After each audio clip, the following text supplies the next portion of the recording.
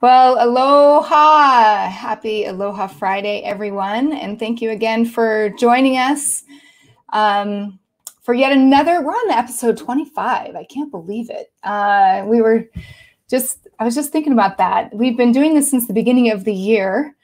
And uh, as many of you who join us every week, I am so grateful that you that you come and you enjoy us live. But don't feel bad if you're not here for live.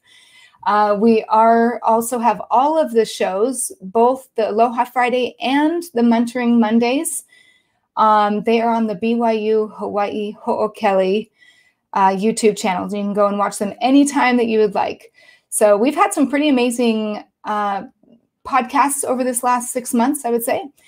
And we want to really connect with the alumni, tell the stories, talk story our Monday, Mentoring Monday, is more geared towards career services. And so, not always, but most of the time, we do interview, these students interview people or alumni who have gone out and are in the communities and are working in careers and have advice and they're mentoring the students because we really believe that that's a huge uh, asset for the students. I, I think I looked up a, a statistic once that a student that has mentoring is twice, 2.1 times more likely to graduate, also go on to having a really great career, knows how to network, and also is willing to give back to their their school, their university. And so it's really important um, that mentoring aspect and that connecting with our alumni is just super important. And it's we've got a platform actually that we've been working on um, building up, which is called the Ohana Network. So if you are not on that, I'm going to go ahead and share real quick the Ohana Network uh, right there. So you can go to Ohana Network. I'm sorry, ohana.byuh.edu. It's kind of like our LinkedIn for connecting the students and alumni.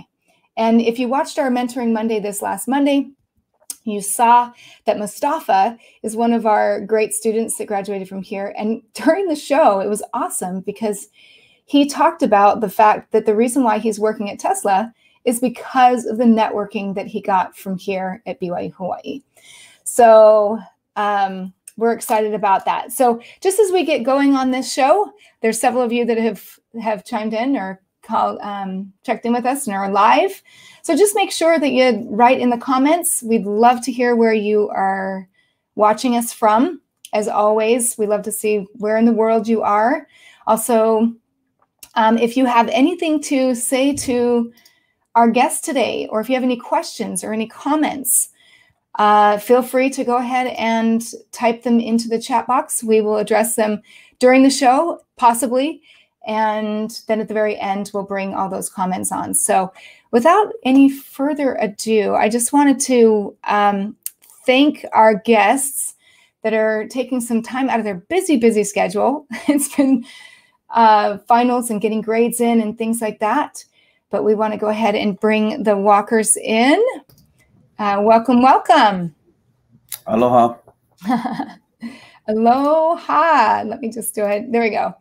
Great. We want to welcome Rebekah and Isaiah Walker. You guys um, have quite the history with this university. So we are excited to, to share your story with everybody. Um, so go ahead and just kind of tell us, whoever wants to start, but tell us uh, where you came from, what brought you here first. Let's start there. I'll go ahead and start. Um, I grew up pretty much here in Laie. Um, my family moved here when I was 11, so Laie Elementary to Kahuku High School.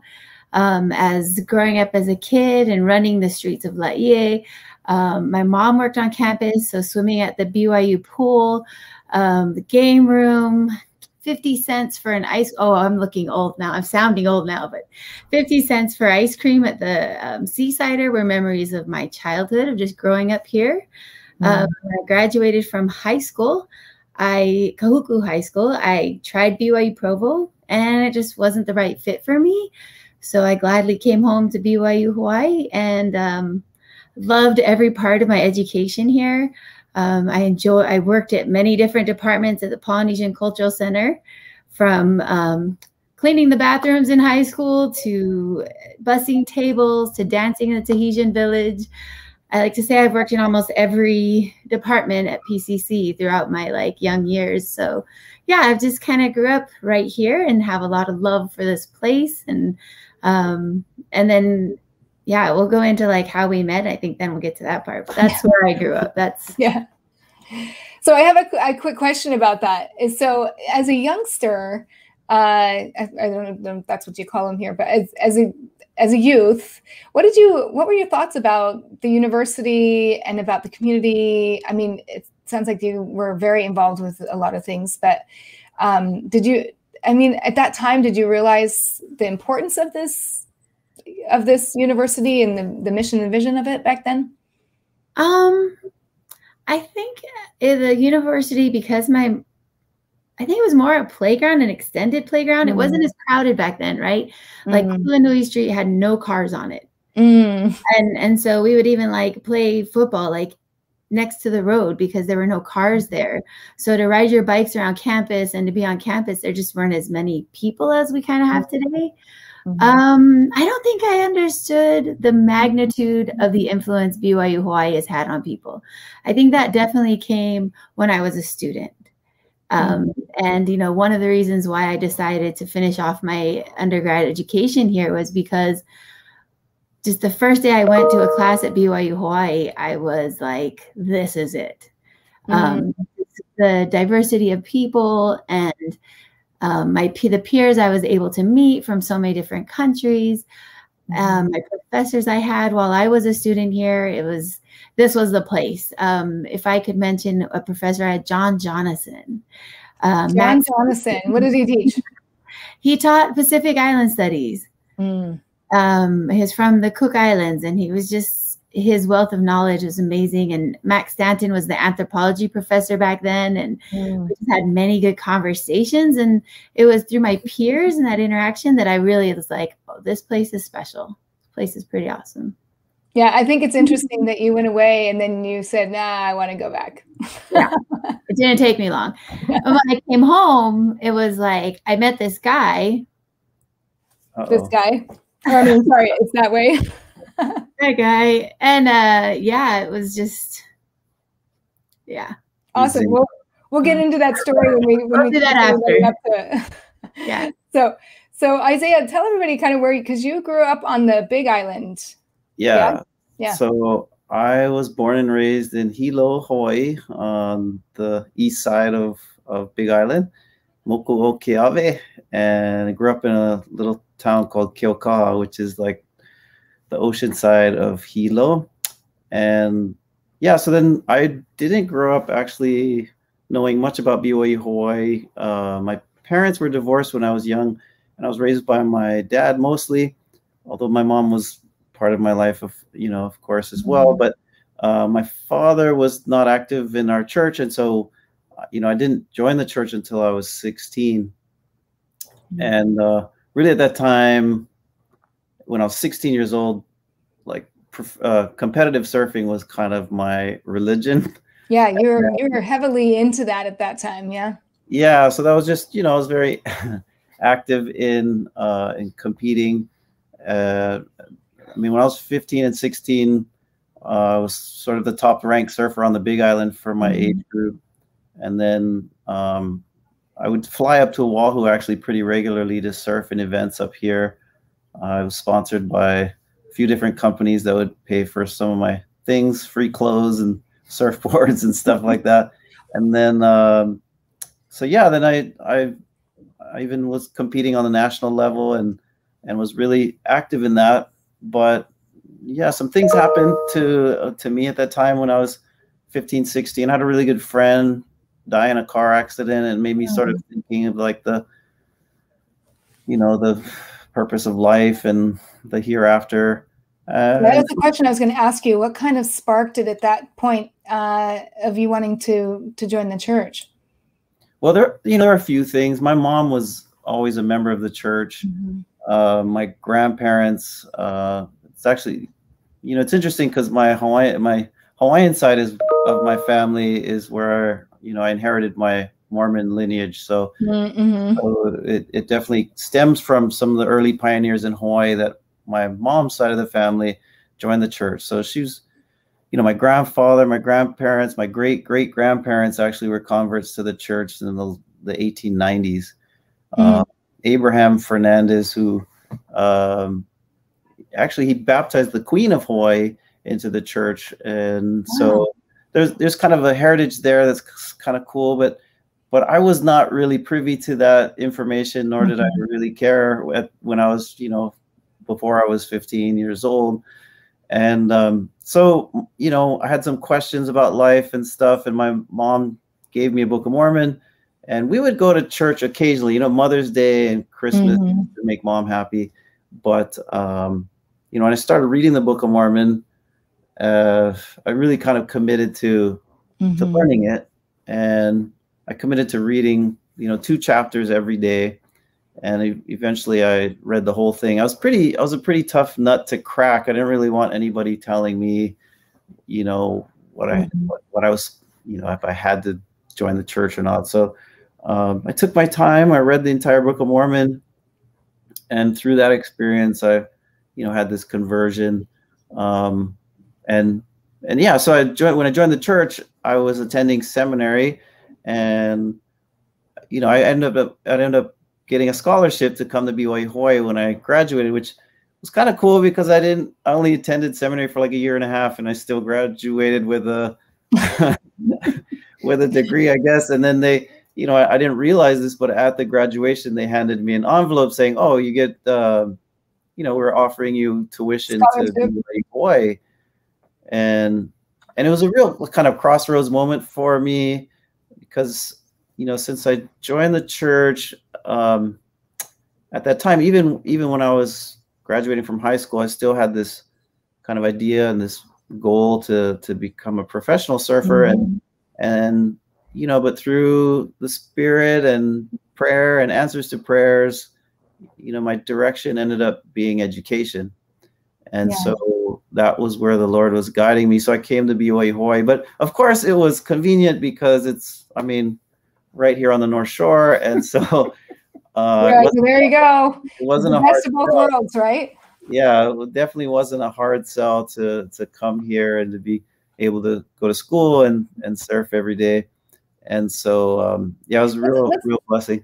Let's back up just for a second. How old were you when you first started surfing? Because that's such a big part of your story your life? Well, in some ways, you could say I was like a baby, right? I, because my mom would take me to the beach and, uh, you know, roll around in the sand and the wave hits you. And uh, the first time I stood up on a surfboard, I was probably like seven or eight years old. But wow. uh, there's all the process of boogie boarding and body surfing that I was doing from before I could walk, probably. But, uh, but yeah. So you it, you just you just took it and run with it. Well, you surfed it, right? the passion. You got on that. The other thing that you shared with me the other day I thought was really interesting too is that you said that when you joined the church, you also took five of your friends. They five of your friends joined the church too. Um, yeah. So after I joined the church, I had um, you know several friends that we you know we hung out in sort of our posse that we mm-hmm. surfed a lot together and and um, so yeah, I ended up sharing the you know my experience of how it impacted me with with several of my friends and you know it was kind of cool was, you know, a lot of them started to come to church and what i loved about hilo it was that you know i'd come to church with my friends like they're wearing like surf shorts and t-shirts mm. and you know because hilo's real laid back and lots of aloha in fact the bishop who uh, at the time was ali auna um, who's also an alumni of BYU Hawaii and a uh, has been a general authority also in the church, and so you know people like Ali and and many other you know members of the church and Hilo just welcomed us with lots of aloha and you know mm-hmm. not a lot of judgment, and so it was yeah. it was a cool experience, and um, and yeah, quite a few of them uh, did join the church, and um, so it was you know good experience for sure. That's it. So so once you graduated from you got the the scholarship to come here. Is did you guys meet right away or was that some no, okay. So tell us the story about how you met. Um so when Isaiah first came home from his mission, um, he had about a year. He came back. He came back to campus the same time I left Laie to go to BYU Provo. Mm, okay. So when I came home after winter uh, semester and I was going to attend BYU Hawaii Spring, um, one of my dear high school friends, Puale Oli Oli, Mhm. um, we were in the cultural hall at the Laie Stake Center, and he was across the gym. This is so cheesy, but I can't. It's it is what it is. he was across the gym, and Puale and I are talking. I was like, "Who's that guy?" And she's like, "Oh my goodness, that's Isaiah Walker. He lives across the street from you." And I had just come back from Provo, so I hadn't met him. And I was like, "Oh, I've never met him." She's like, "Oh my gosh, you have to meet him." And so we walk over, and um, it was just like Barry White music playing. I can see it right now, like the whole gym. it was just insane. Like it was like this electric current, and it was just we met, and it was like hi, hi, and it was just yeah. Where yeah. have you been all my life? Well, she, you know, she was also impressed that I was a. Uh, He was a sunbeam, sunbeam teacher. teacher for the little kids. In fact, Daniel James, I think, was in my Yep. class, and a few Daniel other James kids, and so that impressed her seeing me with five-year-olds teaching. carrying a sunbeams teacher's manual. Oh, like, oh, I teach the sunbeams. I'm like, oh, um, That'll you know, the goal every time. we met, and whether or not Isaiah likes to admit it, he went home to his house and told his roommate. What'd you tell your roommate? I think I may have met my future wife. Aw. So, so I, so you felt the same Mhm. way fairly soon as well. Yeah, yeah, for Right But the road wasn't as smooth as you would imagine after that. That point. was just the meeting it was pretty met. smooth. I mean, Yeah. we yeah, it took a year and a half for us to uh to get married, but to get engaged. again, To that's, seal the deal. as I mentioned earlier with reading the entire Book of Mormon, and so Mhm. We uh we had to a- read the entire book, yeah, yeah, yeah. No, which it is fun. good. It's good that you know we took some advice. You know, long dating, short uh engagement. So we took that advice Well, and it's paid off, right? for So- sure. Yeah. Yes. so you guys were both in school at the time uh, that you were dating, and Yep. but you also studied some of the similar. Did you guys know when you first met that? I mean, because you guys both do very similar things with the history of the Pacific. Tell everybody kind of what you studied while you were here. Um, I did Pacific Island Studies, and Isaiah did history. Um, and you know, while we were dating, we would always talk about like, well, what do you want to be when you grow up, kind of a thing. And we actually took a history class together from like Cynthia Compton, and we read the books together, and we talk about it. And that was one of the things, even when we were dating, is we could always um, talk about our studies together, right? So, what's your paper on? What's your paper on? And we would just read the book and bounce off ideas and um yeah and that's something that throughout our courtship and then throughout our marriage has always been um important to us Mm-hmm. and and that we have that connection intellectually Mm-hmm. um, that you know when he was writing his book i was reading his book and i could give him feedback and um, you know and he yeah vice versa we could always just kind of support each other in our career pathways Yeah, she likes to brag that she gave came up with the title of my book, which is true. Uh, yes, I wrote a book. She gave you the title. Wait, I have it. Waves of Resistance. So she came up with the name. and uh, I think it's super creative, by the way. I design books and I write books, and I when I saw that, I was like, okay, that is that is awesome. And it was, he came to me with this whole list of titles, and I was like, no, none of those are good. Just call it Waves of Resistance. And he was like, what did you just say? That's it. That's it. And he wrote it down and he was like, darn it, she got it. You know, it's one of those like, Yeah. she got it first. So, Well, that's that's how you know it's the right thing. It's like a zinger. It's just like zing, and you're like, yep, that's it. That's I mean, it. but he wrote the book. All I did was like, here's a title. So, You're um, you're you're part of the writing. You're part, and that's that, that I think that's what you just said is that you guys have been partners since the very beginning, you know, and we all play a part in that, and that's awesome that you were able to to support him that way. yeah. And I think it's, um, you know, because now everything Isaiah is doing in his book, it's me as a supporter, but a lot of people don't see Isaiah as my supporter. Mm-hmm. Um, you know, after when we were dating, our plan was always to um, continue our education. Mm-hmm. And it was don't get a real job, just keep going to school, stay poor, mm-hmm. and then we won't know what we're missing. So, you know, and, and when we got engaged, he promised my parents that I would graduate with my bachelor's from BYU Hawaii. And so, mm-hmm you know, um, he graduated before me, but he lived up to that and supported me so I could finish my undergrad. Um, and I supported him while he was doing his master's. And then, um, you know, two kids in tow, uh, with kids in tow, we just kept going. Yeah. Um, but we couldn't have done that without having, we were just partnership for sure. You know, we had two kids, mm-hmm. we were in graduate school, and it was, okay, you're in class, I have the kids. I'll mm-hmm. ride the bike with the kids. You take the bike with no kids. We'll switch.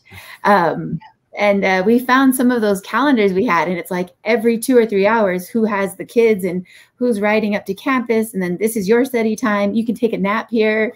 Um, but yeah, good memories. Yeah. But it was it was always um, Isaiah's just always been a really great supporter of what I wanted to do and in my career choices and in my furthering my education. So yeah, it's um, I love that. It's a partnership. Yep. It, yeah. You're study buddies for life. That's fun. Sometimes I say, let's turn it off. let's turn it off. Right. No theoretical arguments in uh, marriage conversations. yes. Yes. So, so the interesting, okay. So tell us quickly the story about, you know, who, okay. How did the proposal go? Oh, right? we'll skip that story. Oh, is that off limits? That wasn't very romantic. Yeah it was uh, guys guys should always know the women like the story right? So it's got to be a good story that you can tell for the rest of your life. The marriage was better than the engagement but you know we dated for so long and it was just a matter of and then for isaiah it was like when he joined the church right? He had to read the whole book of mormon and mm-hmm. like know it's true. Patience. so yeah patience. And after a year and a half of dating I gave him an ultimatum and I said, either we get married or I'm leaving on my mission. Ooh. And uh, yeah, so so there's the proposal. Was, yeah, so he proposed and he just uh, gave me the ring and said, "Do you want to get married?" And it was as simple like that. And oh, you know what, Isaiah? It's perfect.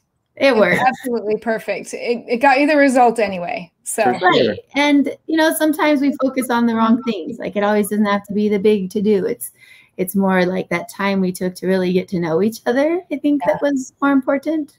Yeah. so one of the things too that came up um, uh, when I was talking to you the other day, Isaiah, and I told you I'd bring this up, but I love that that you said that you you have a great love and passion for the water, and Rebekah is more the land person. So talk a little bit about that, and like obviously we talked a little bit about your um, you know, in the surfing and things like that. But Rebekah, why are you passionate about the land as well? So if you can both talk about that. Go ahead. All right. Um, yeah. So it's kind of interesting though. Uh, recently at graduation, I thought it was kind of cool. Uh, Kai Fung gave a talk, and uh, he shared a little bit of a story that that I'd shared with him. Uh, that essentially, I kind of, you know, as I was talking earlier about about my desire to be a professional surfer, I really abandoned that uh, to do other things that I felt the Lord was directing me to, which was first serving a mission and then completing school. Um, and, you know, uh, it, it's kind of cool because in the long run, what happened was, uh, you know, I ended up going to graduate school in Santa Barbara. Uh, and while Rebekah was studying anthropology, I was studying mostly U.S. history, world history, and Hawaiian history. But when you when you get a PhD in history, you know you pick a dissertation topic, and that's where your you know your personal research uh, you focus for the last you know part of your your graduate experience, and um, and I decided to tell the history of Hawaii through the lens of surfing as like the vehicle for for talking about that. And so, tech, I mean, my book really isn't a history of surfing. It's a history of Hawaii as told through the lens of surfing is kind of like the vehicle for for talking about Hawaii's history.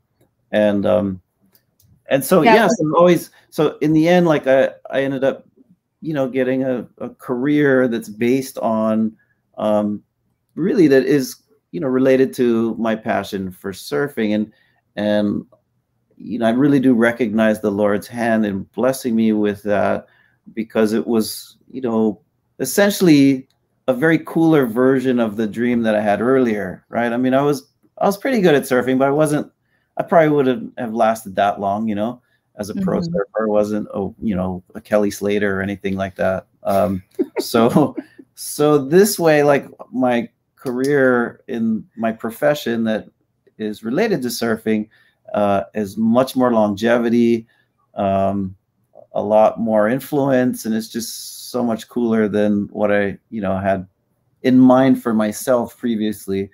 Uh, in fact, today, I mean, I, I mean, I kind of am the expert on the topic, right? Mhm. Like Yeah. um, the Associated Press, I'm working with them right now. We're doing a story about surfing history and Hawaii and the Olympics. Uh, Mm. surfing has recently become an Olympic sport, and so it's really cool that I still am able to, um, to you know that the surfing is uh, is a topic that I've become kind of a professional at, um, and sometimes even I'll I'll be a commentator at some of the professional surfing competitions, and it allows me to sort of be in that scene, and uh, just in a very different realm and it's very fun. So so yeah, the ocean has always been my thing since I was a kid. My you know this goes way back. Uh, my grandmother Abigail Ehuo Kalani grew up in Waikiki, and you know she used to surf, and Mm. so it's something that I've inherited from the Hawaiian side of my family, and so still you know it's um, something that you know all of my kids we surf together, uh, and um, it's just a part of who I am. And it's funny and ironic, I suppose, that my last name is Walker. But when I was a kid, I broke my legs. yeah, so so I have like I- Stop. Too much. I'm not like really. I don't like walking a lot or hiking. Yeah. So I ride a skateboard and stuff because, uh, you know, I'm a little off balance because of all these bone breaks when I was a kid. Um, but Rebekah loves, um, you know, as an anthropologist, she she works for Hawaiian Islands Lands Trust, and then she's always like in the mountains and um, taking tours for uh, the community into these, you know, sacred sites. These heiau, there's a heiau. She can talk more about it, but uh, Mauna Wila Heiau in Hauula. She's managed that for many years now, and does a really good job at it. But it, but it involves being up in the mountains and on land. So we're kind of like that. Um, the flower. Oh, What is it? the The, Naupaka. the Naupaka. You know the Mo'olelo, the story of the Naupaka, where we're not separated, but there were, um, uh, you know, a, a boyfriend and girlfriend, and it was that like love that wasn't allowed to be. Mm. And so they were separated, and there's half the flower, which many of you are familiar with at Temple Beach, right? That Mm. white half flower on the Naupaka. And then there's a mountain variety. It's yellow and it has sharper leaves, but it's the other half of that Mm. right? Anyway, that's what he was alluding to. But um, you know, when I was in high school, we would always we like to mountain bike up to Laie Falls. Mhm. Um, and so I've just always been more of a hiker and I'm I'm not a good swimmer and there are monsters in the ocean. and um, you know, my I consider my greatest uh not greatest, but a good thing I did is like at least my children don't have my same like phobias. phobias of the ocean and but so that's their thing um but i love to watch them and you know i always knew in marrying brother walker isaiah that i would always have to live by the ocean so even in going to graduate school um uc santa barbara is a great school but it has surf you know Yes, I know. I, I noticed you guys went to another place that's close Yeah. to the beach. yeah it didn't even apply inland Yeah. Like, people get island fever and he gets landlocked so you know but i can't complain so it's um yeah. always by the ocean. So, yeah. I love one one of the things Isaiah that you said too is that um, you know because I took your class, I took the history of the Pacific, which um, was fascinating to me. I I flunked all my history classes. I think I told you that in high school, but um, I loved your class because you gave such a perspective um, to all the different cultures, right, and how they they work together. And also, it opened up my eyes to I've never even thought about the history of the surfing right? And to seeing the rights and just the way that you that you taught about that. And the other thing that you brought up that i loved is and this comes up a lot in this podcast to believe it believe it or not is that life never turns out the way that we think it's going to turn out. But it's great that you can still keep your passion in sharing it with the world on just a different level. And i know that you both of you do a lot of community service right? Like i i know in class you shared that you were working um, with pro surfers and that you have all these connections and and in coaching them and helping them on different projects that they have. So what a great testament that you know just because we at a certain age think that our life's going to go a certain way and that's what the whole kelly right is navigating that um, that path in our lives that sometimes God has a greater plan for us if we can just listen and be in tune enough to go right. So how can you marry both of those those things that, you know that you're passionate about, but also you're now got into education. Um, and both of you guys. So let's go a little bit quick into the San Diego. I mean, not San Diego. Santa you served your mission in San Diego, but you went to Santa Barbara um, and followed each other there to get your master's and PhD. Is that right? Yeah. Yeah. So I I had earned a, a master's degree at UH Manoa, and then went on to a PhD in Santa Barbara. And so Rebekah, uh, we both went went there. We already had our two for two oldest kids, and and then Rebekah got into the anthropology department there at UC Santa Barbara. So we're you know in graduate school at the same time, and she ended up finishing her master's degree at the same time that I finished my PhD. That's awesome. And then, oh, go ahead. I think, um, you know, those moments in between those programs are something mm-hmm. that like we reflect back on like when i was when we were finishing our bachelor's and you're applying to grad school and you don't really know if you're going to get in mm-hmm. or you know and then you're applying to like your master's program into your phd program those moments of in between mm-hmm. um, where like we here we are we had one kid and we didn't know where we were going and you just keep praying and you go to the temple. And you know it was in the ocean that isaiah would usually get like i mean the temple too but in the ocean like his inspiration or that reassurance or um yeah of just like it's gonna come just be the clarity. Yeah the clarity and and um that faith, those were leaps of faith to like kind of put everything on hold and just, um, and we, yeah, and it was. And I was grateful for, you know, Rebekah, she is a, you know, strong supporter and I'm kind of a homebody encourager. so I, when I got into UC Santa Barbara, I also got accepted at UH Manoa and, and they were going to pay, you know, they offered to pay for my schooling. And I was like, oh, let's just stay here. And then she was like, no, let's go to the better school. Like it'll work mm-hmm. out better in the long run. And so, you know, I was glad that I had a supportive companion who uh, gave me that extra uh, boost of confidence to get outside of my comfort zone and leave Hawaii. Yeah, and I and I can tell that those leap of faiths were difficult at times uh, for you guys to make um, which is usually for most people, right? When we don't see the future and we don't where, know where we're being led to. Um, uh oh, somebody's getting a call. oh, that's me. Sorry. Stop. stop, stop. Um, anyway, I'm gonna have to just hang up. There we go. Um, so yeah, and so and so then you guys got your education. At what point did you decide that you were going to come back here? What brought you back to to BYU Hawaii? Both of our families live here. My parents, my uh, sister, I had one, or my sisters were kind of, we all ended up back home. Um, and Isaiah's family was all here in Hawaii. And we knew, um, we knew this is where we wanted to be, but it was also that like, well, if Heavenly Father, if that's where you need us and it works out, you know, mahalo, like we're mm-hmm. willing, we were there. Um, but then also we were willing to go where you needed us to go, right? Mm-hmm. There's that like we wanted this, but if it had turned, you know, wherever the Lord had kind of impressioned us, I think we definitely would have gone. Um, we were just fortunate that our goals lined up with his goals. Um, or what he needed us for. You know, it's kind of tricky too. I don't think a lot of people know this, but you know, just because you finish up your PhD doesn't really land you a job mm-hmm. in academia. And it's actually kind of tricky. I mean, there's a lot of universities around the world, uh, and but there's only so many spots. You know, you can't just create mm-hmm. a spot out of nowhere for someone. Uh, so when we first when I first finished and we moved back, um, you know, there weren't any openings here on campus.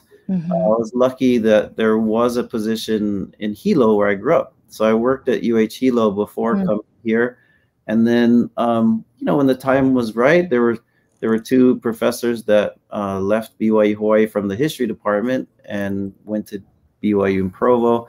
It opened an opportunity for me to apply, and I was just really grateful that you know I ended up getting a position here on campus at BYU Hawaii.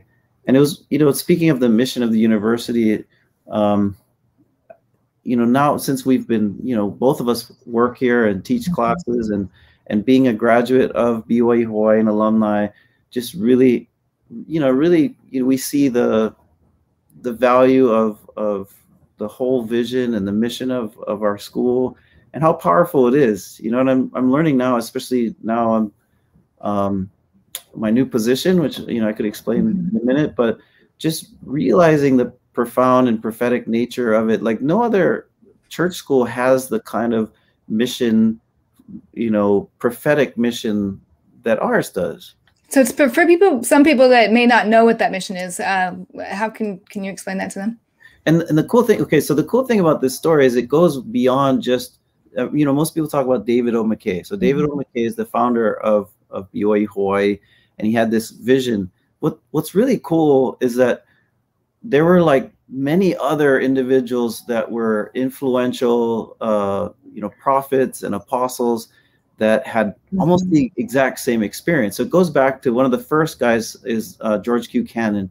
George Q. Cannon comes to Hawaii. He's one of the in the first group of missionaries that come to Hawaii in 1850. And when he gets here, there's some struggles, some hardships because um, you know, the only people who speak English are other missionaries and uh, whalers, and and the whalers at that time were kind of like pirates. You know, they didn't really have much interest. Neither did some of the other churches have interest in joining our church. So a lot of them were ready to throw in the towel. Mm-hmm. Um, and then, you know, George Q. Cannon has this this inspiration where he he you know has this revelation that the the people that they should be teaching is the native people in Hawaii, and that you know, he has this vision that they're chosen people from the house of Israel. Mm. And that's a very different perspective from some of the other missionaries from other churches at that time who kind of saw them as, you know, savage or that mm. they were unequal and they needed to be kind of uplifted. Whereas this was a very different perspective of, oh, wow, these are the chosen people, and we just need to share the gospel with them. And I think because of that perspective, the church becomes very um, appealing, and there's a lot of uh, Hawaiians who convert to the church. Um, of course, there's many other people in the story uh, that George Q. Cannon interacts with, Jonathan Napela and many others.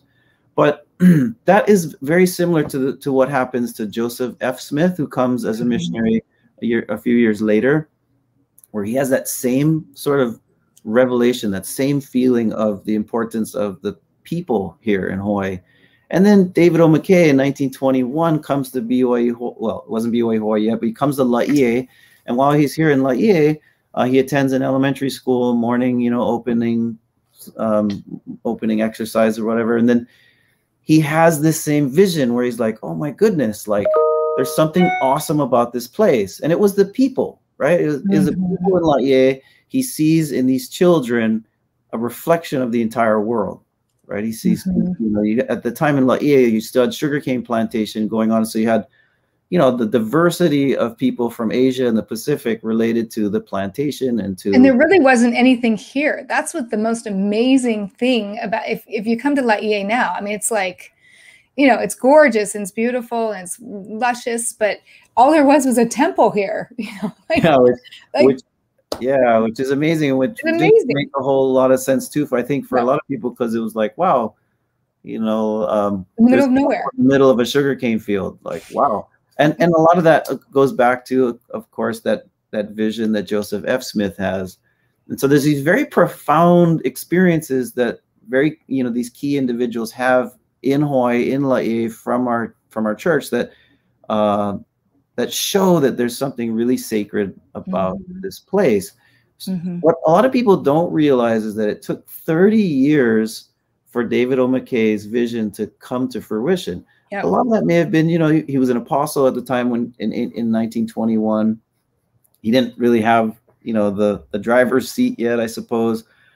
But can you imagine having an experience and then holding on to that for 30 years? One of the first things he does when he becomes the prophet and president of, of the church is he you know makes that dream come to fruition mm-hmm. really says something 30 years holding on to something mm-hmm. enough so that it's uh, like top on your agenda when you are in that position to make that change um, says something about the profoundness of that experience in his um, mm-hmm. in his time so so again he's so excited about um, opening the school and what it does and i think a lot of people don't realize a lot of times i don't think everyone really grasps the magnitude of this experience. Mm-hmm. It's not just about Laie. Mm-hmm. This is very important. I think the point to make. It's about the church relationship in the world. Mm-hmm. Uh, David O. McKay is known as the president who really shifts the focus of the church to become an international church. Mm. Um, and and it really is this emphasis in a global church and we get the concepts of zion is wherever you live right whereas. You know, mm-hmm. earlier years it was sort of like everyone has to gather to the same place. Um, David O. McKay has this very profound shift in our perspective of Zion, and it's more like this concept of the global church. And yeah. his bring, bring him here, right? Yeah, bring him his, here. But his experience here in Laie mm-hmm. Is what triggers that, right? Mm-hmm. And then and then the the building of the school. Sorry, am I talking too much? uh, the, I'm, I'm part Portuguese and I'm a oh, professor, so that you know. I know what Portuguese means. so, so anyway, so but uh, David O. McKay, like um, he, you know, BYU Hawaii benefits greatly from that vision, but so does the church from from that mm. whole shift in in perception of the church's uh, role in the in the rest of the world, and so it's real blessing. Uh, you know, BYU Hawaii still living up to that legacy of of it being an international um, campus of of you know promoting peace and and international um, brotherhood and leadership and mm-hmm. all these values that uh, are are real and and it's and it's cool to be a part of that experience and to be part of the that whole vision um, of of not just David O. McKay but many other of his predecessors. Yeah. I, oh, go ahead. I feel like I see glimpses of it in my students. Mm-hmm. Like every semester, I mean, we've he's taught we've taught for like I've taught now for about 14 years. Mm-hmm. And every semester when you get a new batch of students and you look into their faces and you have these conversations, um, I feel a responsibility because you know, we're educating not just students, but like brothers and sisters in Zion, like members of the gospel who are going to go out back to their homes and to many places throughout the world. And they are. And so often they become leaders. Well, leaders of your home or leaders in your community or leaders in your church or leaders, you know, wherever you are in your work. Mm-hmm. And so I feel that like when I get this new batch of students every semester and it's like, okay, we're going to talk about, I mean, for my, what I teach, you know, it's, we're going to talk about culture and we're going to talk about people and we're going to talk mm-hmm. about um, how we can be better people. And, you know, in the discipline of anthropology, I think of it as, you know, and trying to get people to be less discriminatory and to be mm-hmm. more kind and loving and caring, they're all Christ like attributes too, mm-hmm. right? Of just loving more, um, being kinder, and recognizing that that's our role in the world. Um, so I think in teaching every semester, we get to see piece of that vision in the new faces we get every semester. And I've loved it when students who I've taught from around the world, um, and if I see them on social media or, you know, and I can just be like, yay, you know, it's just, it feels, it's an, it's, it brings me joy. Oh, and ab- absolutely. I 100% agree. I think we talk about that a lot here in the Ho'okele because we have a lot of students that work here. And I feel exactly the same way um, because I, I, was just talking to a couple of the students the other day. I said, "You guys are going to be bishops. I, I already see it. You know what I mean? You, you, you can see them as the leaders that they're going to be. And you know, I, I don't know about you guys, but when you were young, you probably didn't see that you'd be in this position now as a VP, you know, but you know they don't see that when they're young and they they don't see that journey, but God knows that, right? And knows where they need to be. But and I love that you recognize that and you playing a part in that in educating and being a part of this vision. Both of you guys being profess- professors and, and being able to have an influence on these students and and seeing it because we do this is a very diverse what did, what are they i think they said 50 some odd countries right now. Yeah. Oh right Seven, now. right well now. yeah. Is that, i think right now it's like 50 50 different countries or something. And we've got only 3000 students. So it's a very small campus but um, uh, what a blessing to be able to be a part of that. And how does that really um, influence the way that you that you interact and when you teach the students knowing that you're part of that. Well the cool thing about our campus that we didn't get at at our other schools honestly is that it's not i mean it's a because of the nature of the makeup of student body it's oftentimes that students know more about a particular thing than we the teachers do, Mm, right? And allowing that space for during you know class conversation and discussion um, you know I, I was teaching a class this this last semester and we are talking about uh, ifoga which is a you know Samoan ritual of of mhm. forgiveness and uh, anyway and this this girl from samoa had much more insight to this practice than i did. And she shared a personal experience of her family and how they went through this experience. And i mean she knew much more about it than i did. And it, it was great for students to learn from each other and we see it all the time and i think that's an Mhm. invaluable part of Yeah. the experience here in the classroom at BYU Hawaii. That's a Yeah. great that's a great insight to you know that you also are open as professors to to to using or utilizing I should say the Yeah. students experience to add to the richness of the education that they're getting in the rooms. I love that. So you guys are now like in a whole new chapter of life. Like you just barely what was yesterday your first day of, of work? For some Yes. people that may not know, you you just got appointed the vice president, the VP of academics. Tell us Correct. kind of what how that was for you and how did you feel about that? uh, well, it's something that I was kind of avoiding for most of my career here. No, I'm just kidding. Uh, I what I meant to say is that I really loved what I did as you know teaching. You know, and I Mhm. I loved um, just being involved with research and and writing and teaching. Um, and then you know it- just this opportunity where I was um, you know hired in this position to be the VP of academics. Um, yeah, it's a real honor and a privilege. It's not something that I aspired to. I guess is what I'm trying to say Mhm. but it did seem like it was one of those experiences that were you know when there's sort of some divine intervention i guess Mhm. and things fell into place and and in, in my life that seemed to be directing us in that way um, you know we also have a new administration that um, that i that i see is very kind of aligned with some of my perspectives as well.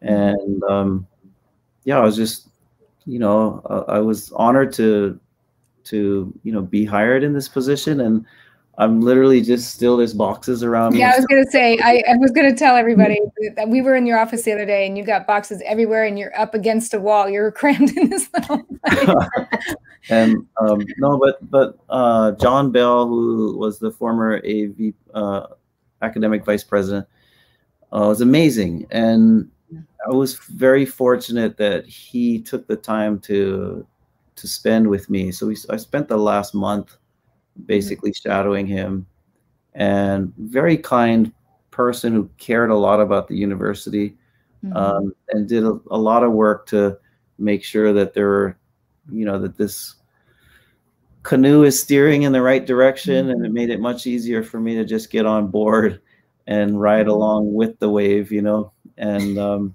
but but it's exciting. I think really, um, I think BYU Hawaii is at a really cool kind of place right now, and I, I foresee a um, you know a lot of cool things happening and. And I do. I keep thinking of a canoe um, as a metaphor uh, for the campus, and you know, I think we've got some great voyages in front of us for sure. And so, what do you think, Rebekah? How do you feel about everything?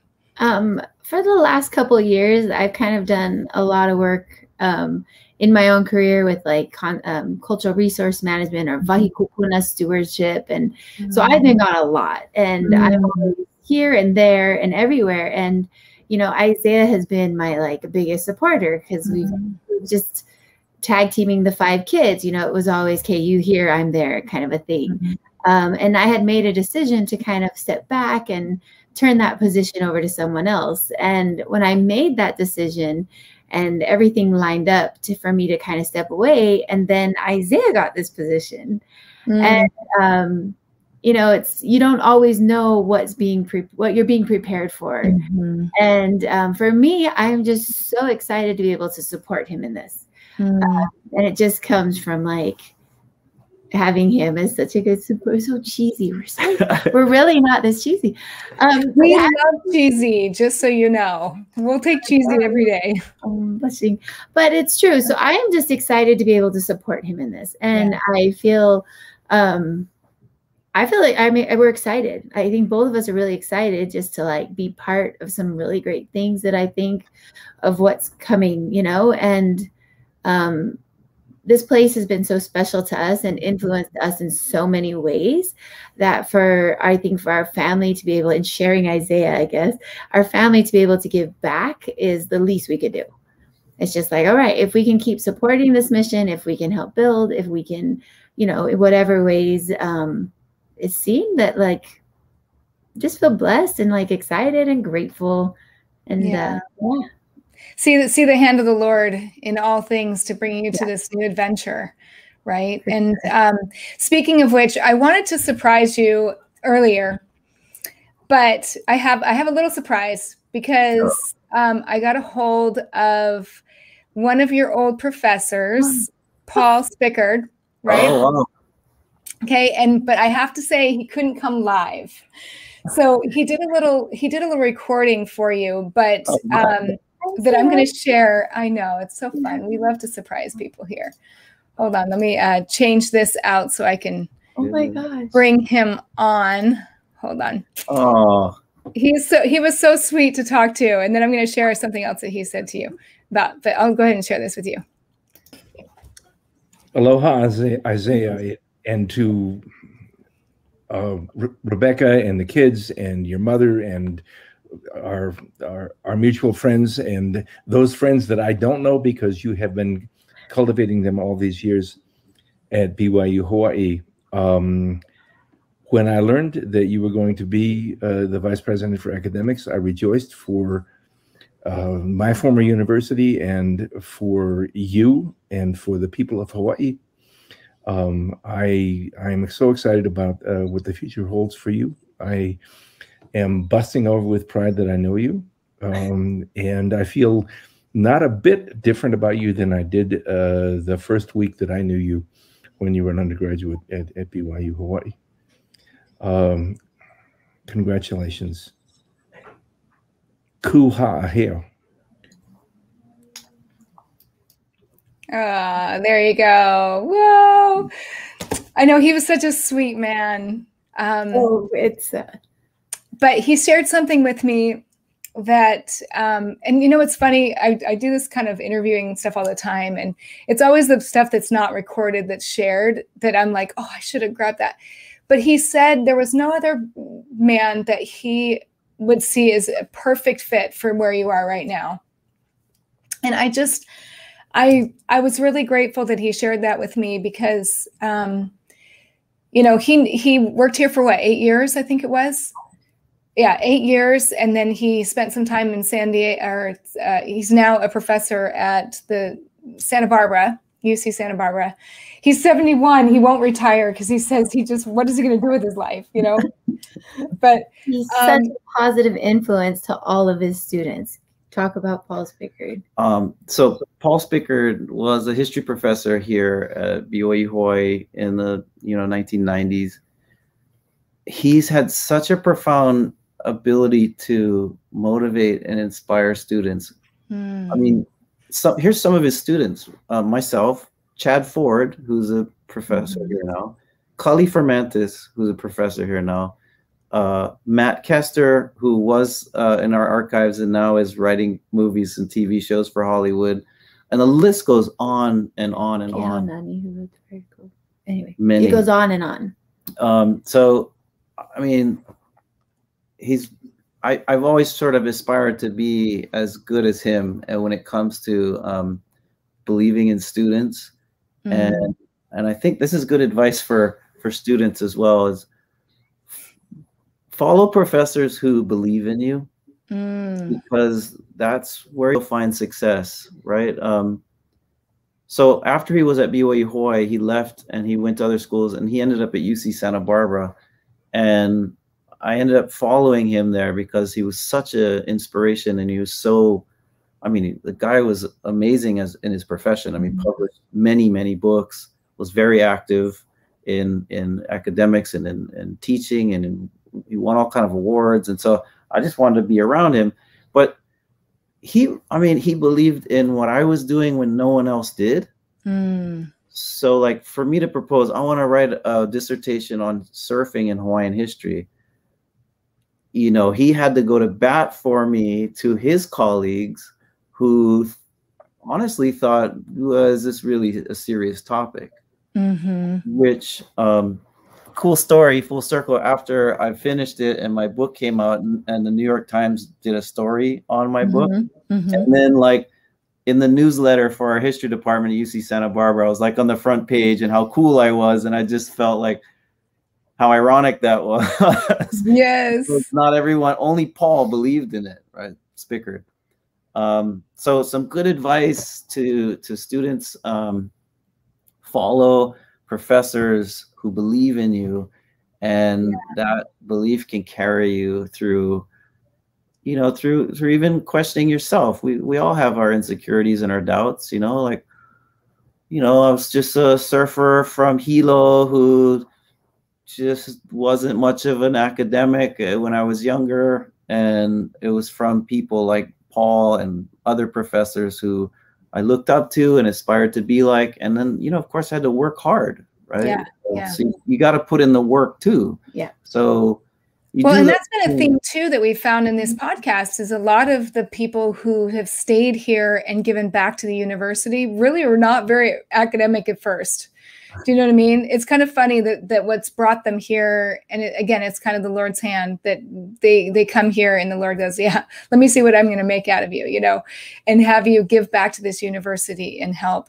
And I also have to say with Paul, uh, my sister's oldest daughter just got accepted to UCSB, right, for or mm-hmm. Santa Barbara, and he was like, "Have her come in, tell her, tell her you sent me." And Not so, really. yeah, I you know, amen to that. I thought that was really sweet of him to to to say that. But he wanted to be live, but he had other plans tonight. So you'll have to. I just want to add, um, you know, that side of like students to look for those professors, but also for those of us who teach, no matter where we are, mm-hmm. you know, the power of that influence of just believing, being that mm-hmm. person who can believe in students, mm-hmm. that can go far and you just never know where that you know so there's the two sides like mm-hmm. students look for that professor and then it's like okay those of us who are teachers how can we be that person who does the encouraging exactly. right? and paul's so amazing. That was a really that was a real treat there thank you, Becky, thank oh, you. I, I, really i feel bad. I, I, reached out to him today and I, I, accidentally and i had to call the this college and everything to get a hold of him and then email and he responded. Anyway it was it was really really sweet. He just has he he has a really soft spot spot for Hawaii and for BYU Hawaii yep. and um sure. and so yeah so it was really great to get in touch with him but um well I want to thank you guys for I, this look how fast this hour went we could talk for another hour and it was so, and we're actually in the same ward and we have never really gotten to, to know each other. But, um, but I want to thank you guys for spending the time today. I know there's so much more to your story and so much more that you've done in the communities and that you continue to do in the communities and make an influence in the students. And I, I'm 100% confident that what you're where you're at right now and what you're doing is exactly where you're supposed to be um, and helping people. And I th- thank you so much for the advice that you've you've given the students, but also the story that you shared with um, with the people who are watching. I just wanted to really quickly bring on a couple of um, let's see. So do you guys know Greg? Greg, how do you say this last name? Teals, Tibble. Till, yeah, yeah. yeah. Thank you, brother and sister Walker, for sharing your story. I like your experiences of walking by faith. It's great to know that we are not the only ones confused of what the future holds for us. you are a great example. I see life. Uh, I see a life of faith. Thank you so much. Oh, thank you, Greg, for for saying that. Uh, we you might have to read this one. Tavita says, "Mahalo nui Isaiah and Rebekah for the awesome historical context of CCH and BYUH." Oh. Yay! And then Andy, do you guys know Andy? Andy Meta? Uh, yeah, oh, Addie. Addie. Oh, Addie. Sorry. I yes, one of our great. There's my dyslexia. No, no, you're good. And and Maria piped in. Awesome, Maria. I may have met her before. And Lay, of course, Lay says, "I know Daniel James, but that must be." It dates us because Daniel James is a grown adult with children, and Isaiah was his sunbeam teacher. So. Oh, really? Yeah, yeah. Oh. So that is so awesome. Well, this has been a great a great time getting to know you guys. Um, thank you again. Any last last parting words at all before we send you off to your your weekend of bliss? Of bliss. yeah, no school. Unpacking and yeah. yeah. Um, just you know, thank you and all to all of our alumni out there.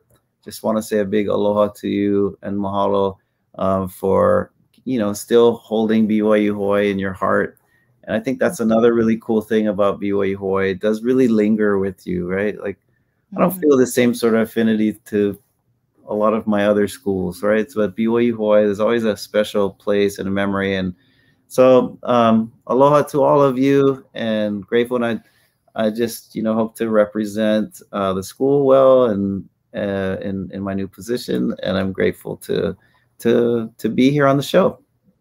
Awesome. Thank you, Becky. Yes, thank you guys so much. And uh, all right, we'll talk to you in just one second. I'm gonna. So we want to thank everybody for for joining us today um, for another week of our Aloha Friday. And if you don't know about where to find us, you can go to our YouTube channel at the Ho'okele BYU Hawaii Ho'okele, and it has all of our shows there if you want to connect or if you want to be on the show or have somebody else that you think that would be awesome to tell their stories it's so important that we tell our stories of um, you know how we get here and what have we done with the education and the mission and the vision of this beautiful university here. So you can go to the ho uh, to ohana.byuh.edu you can also email us at alumni at byu h.edu. And we've just got some exciting things that are going on. We've also, I just want to remind everybody, I'm going to be doing a little commercial here in the next week or so with all the benefits for what is what are the benefits that you get for being an alumni here at BYU Hawaii. And so stay tuned for that. Um, if you have any questions or would like to reach out to us or how let us know how we can support you please email us at the alumni at byuh.edu. And thank you guys and have a fantastic weekend. We'll talk to you soon. Bye bye.